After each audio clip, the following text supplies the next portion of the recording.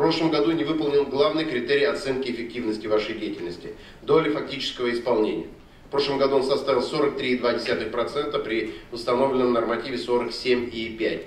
Подразделение судебных приставов необходимо найти решение для повышения значения этого показателя. Есть проблемы в деятельности подразделений по наложению арестов на имущество в рамках исполнительных производств. Все вы понимаете, что это эффективная мера, и она должна приниматься в большем объеме.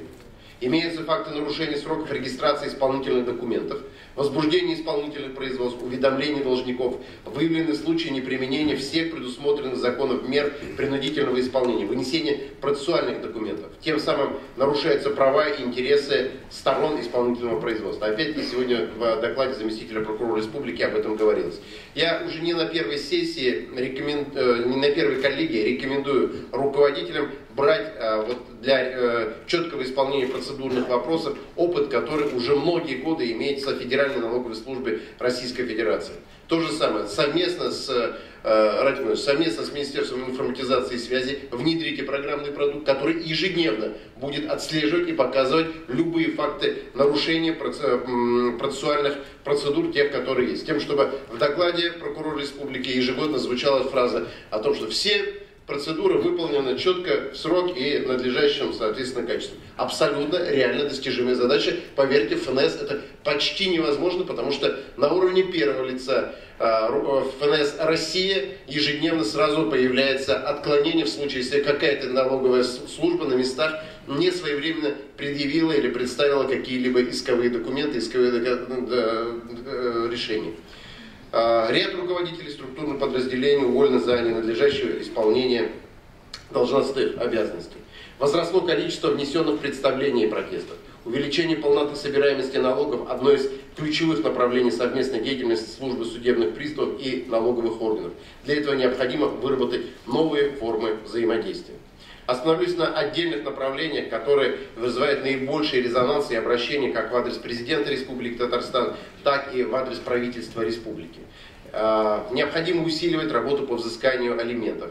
В 2015 году только 44% исполнительных производств указанной категории окончено фактическим исполнением. Активно в этом процессе необходимо применять уголовное преследование лиц, уклоняющихся от уплаты алиментных обязательств. Особую актуальность в настоящее время приобретает своевременная оплата труда. Здесь хочу отметить хорошую совместную работу с прокуратурой Республики Татарстан, органами, муниципальными органами на местах.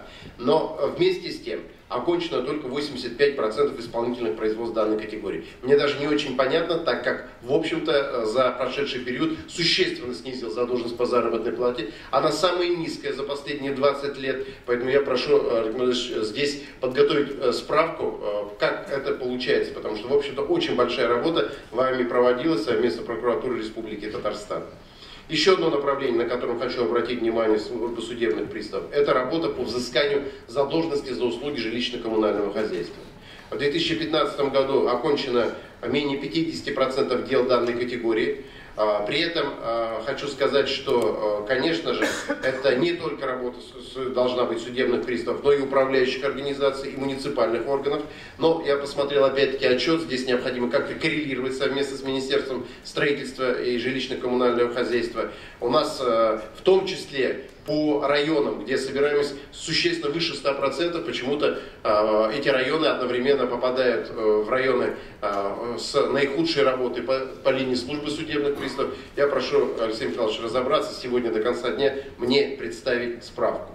Хочу отметить, что необходимо, конечно, максимально использовать все механизмы по взысканию долгов. Это арест имущества, ограничение выезде за пределы Российской Федерации, использование комплексов мобильный пристав, которые дали эффект, серьезный, хороший, и даже то, что вчера в набережных Челнах э, э, именно как, как критика отметили наличие системы мобильный пристав, я бы хотел сказать, что значит эта система работает. А значит все-таки она дает необходимый результат, если люди говорят, ну вот я э, такой хороший, но я давно должен был 15 тысяч, а меня останавливают на дороге. Я думаю, что это показатель хороший как раз работы э, э, тех э, сотрудников службы судебных приставов, которые обеспечивают эту, эту деятельность.